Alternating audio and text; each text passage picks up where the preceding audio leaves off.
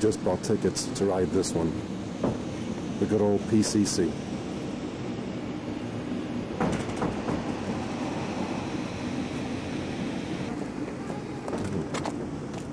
The last one to ride that I ran in Baltimore. Yeah, he'll give you another trip for, for, for another trip on the other car. Hey. Okay, let me get right in here.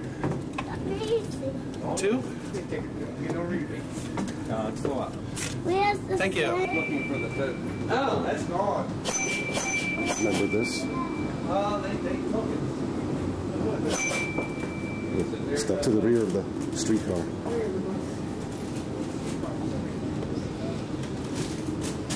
These old streetcars even had curtains. Want to get some sleep before we get to work? Remember that? Oh, there we go. Charles, we're going to Charles.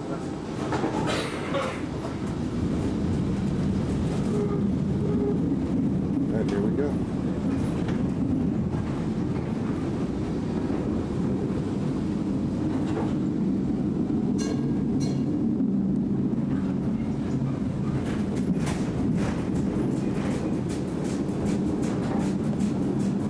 I remember the noise these things used to make. Falls Road outside. Falls Road.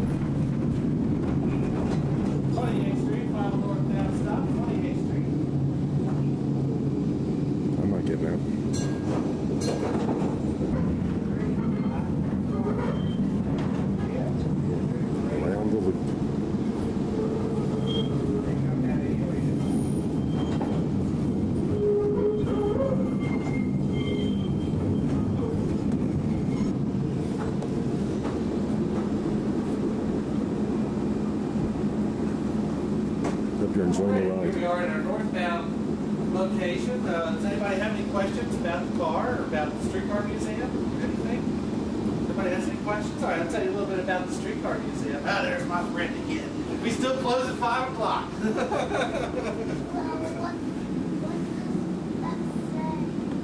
Oh, the sign? It says 14 Charles and Lexington Street.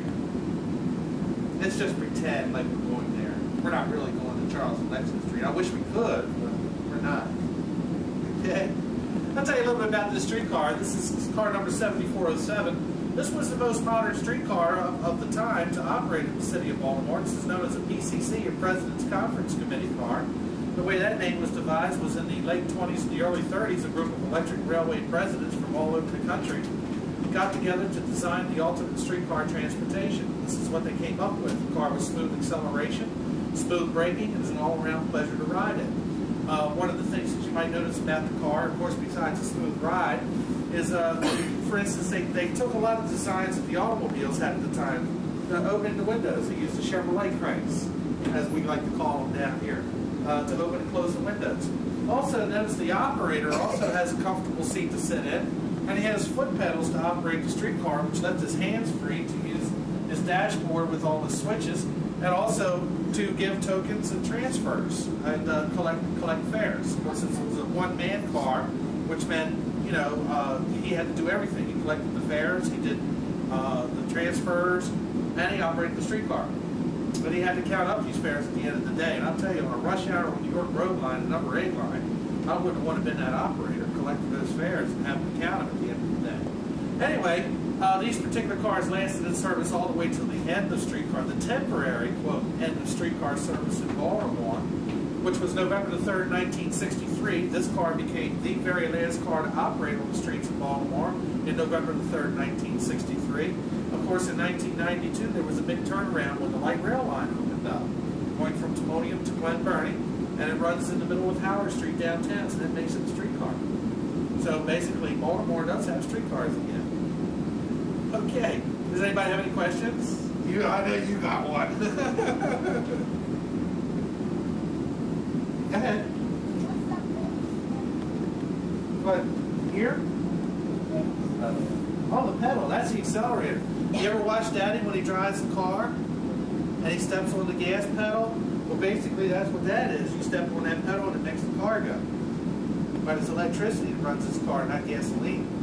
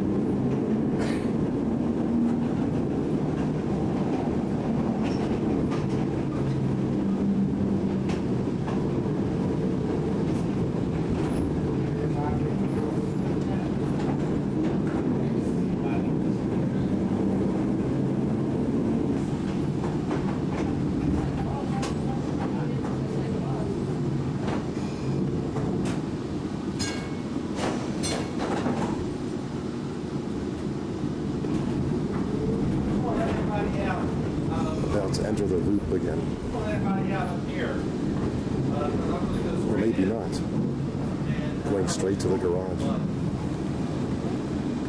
Let you out right here, you can cross right over, and walk up that way.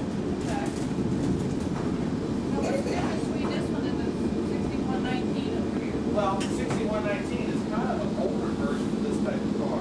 Okay. Sixty-one nineteen was the first of the all-steel modern cars that run Baltimore. Modern car, and as a matter of fact, a lot of the, um, uh, things that were used in that car are also used in the PCC.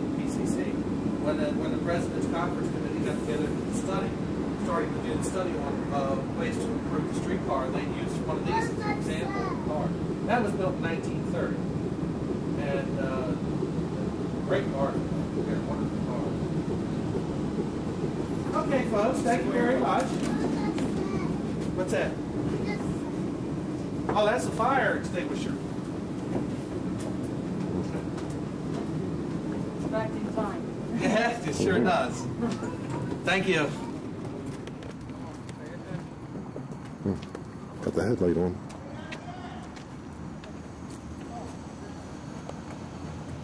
I don't know why you didn't wait for me. One track, right? Yes. That's how they throw streetcar switches.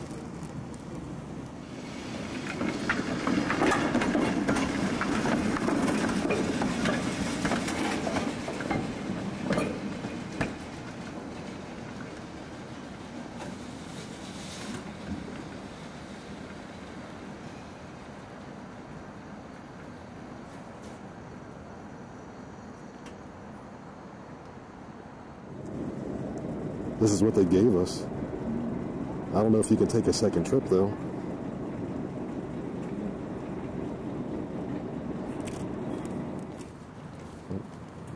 Next car out. An old wooden one.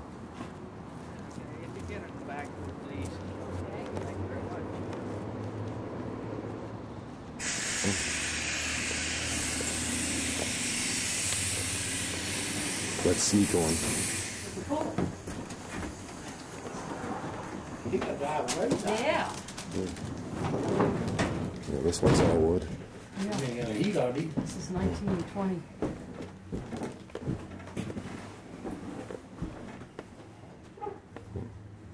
Nice woodwork. The least you can do is come in and be sociable until it's time to leave. Thinking of time to leave, did the, uh, No, that's what I was just uh, wondering, where in the world he is. Well, let me go and look for him.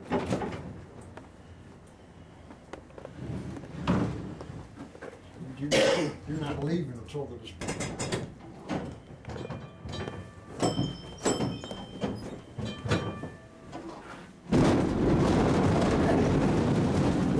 Made a big noise here.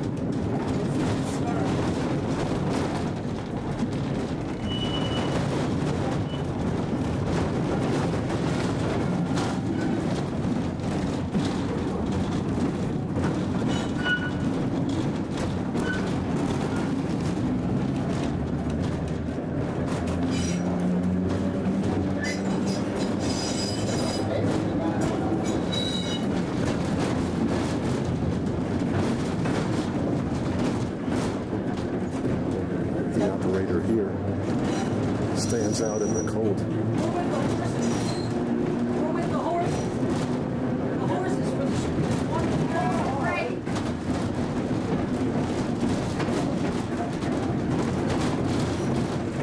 How do you do another line?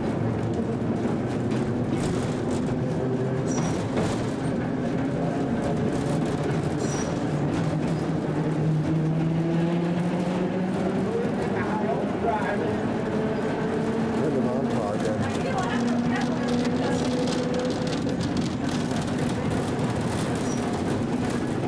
Not bad for 100 years old.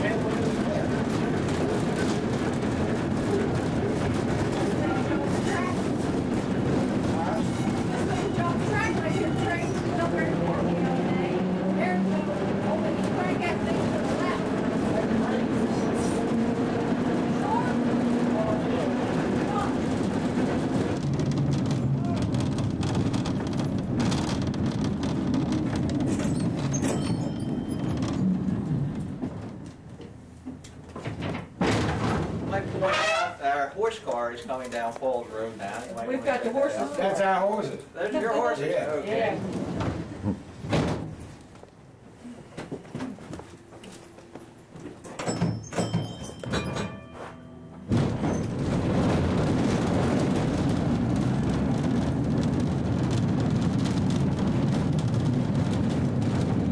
An original horse car.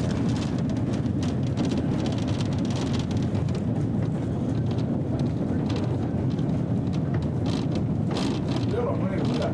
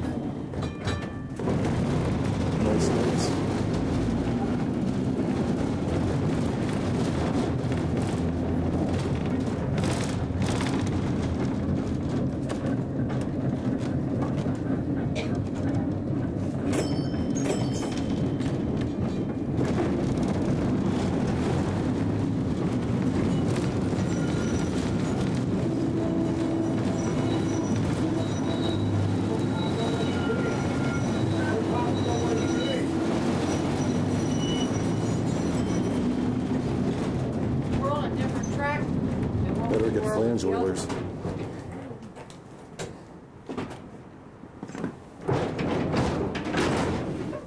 Those are pretty animals. What kind of horses? Belgians? Belgians. Belgians. Uh-huh. Nice shires, huh? Yeah. Nice to get in here and warm up a little bit. Right. Hard to imagine, but there were actually men that stood out there for 8, 10, 12 hour days uh, for uh, six days a week to earn a living. That's the way it was at the turn of the century. Today isn't that bad, but can you imagine uh, sleet, snow, and so That's forth? right. Uh, and his only job is to operate the streetcar, and he only does it on command. He can stop the car, but he can't move it without the conductor giving him a signal, and that's what the bells are all about. Two bells means uh, it's uh, okay to go ahead. One bell means somebody wants to get off, stop at the next stop. So it must have been a noisy city at the time. Bells, ding, ding, ding, ding.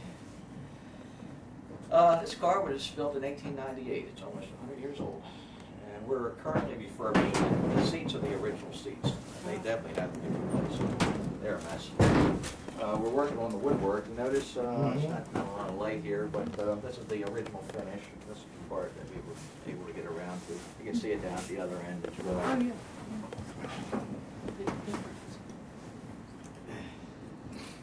And the uh, light bulbs are period light bulbs also. We're not sure about the date on the light bulbs, but we know that that particular brand was not made after 1910. It's a good uh, filament then. Well, you see, they put out very little light, and as such, they, they just burn forever. Uh, usually it's accidents where they get broken that Oh, determines how long they stay in the so- socket or not.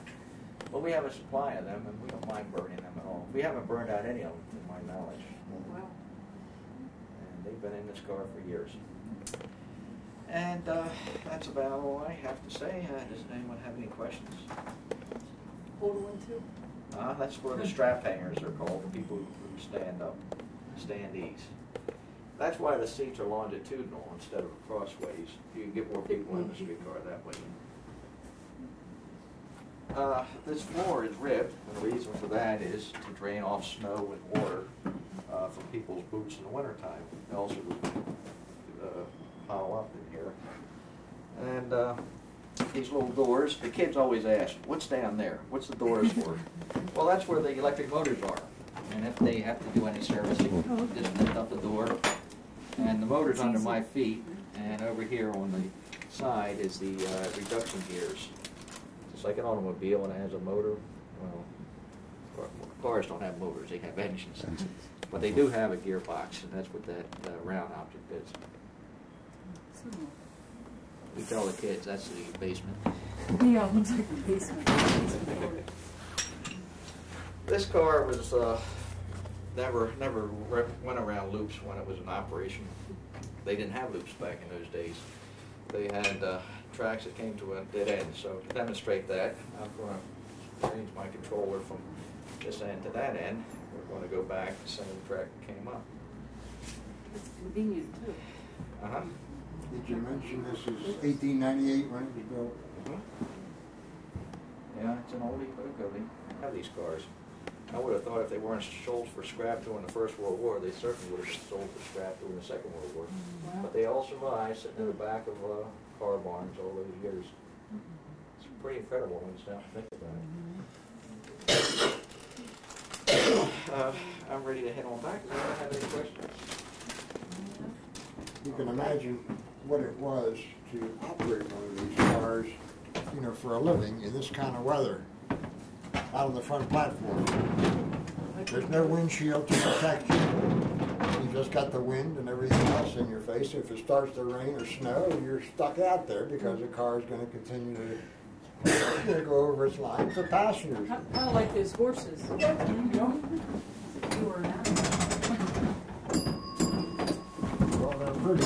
shutters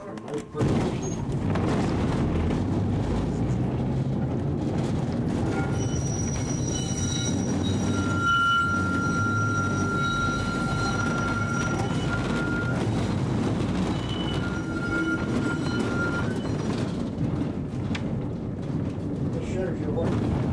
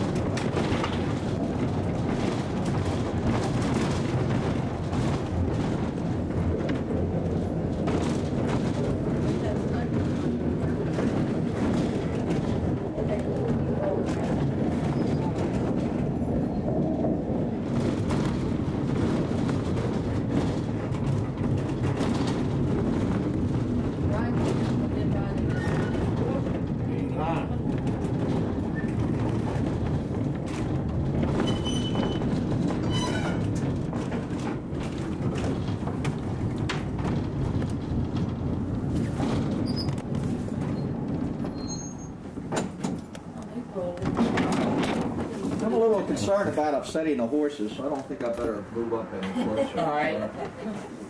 I don't want to stampede here.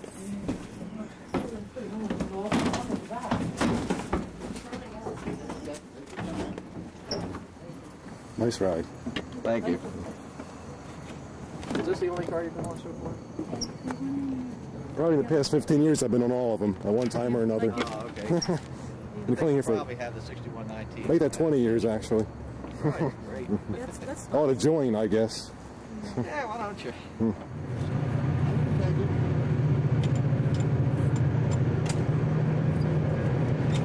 Something on the CSX again.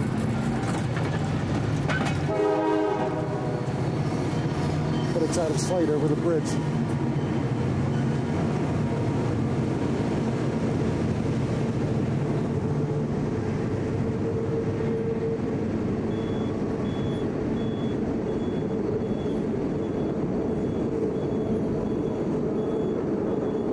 Streetcars at night can be very photogenic.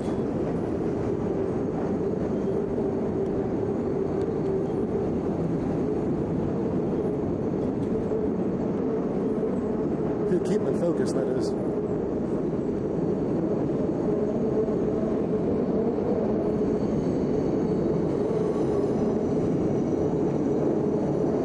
Streetcars at night also make for very good video.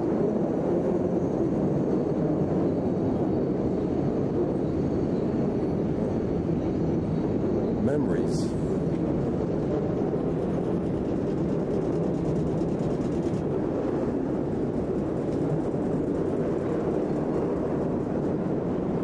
Oh, there's that train.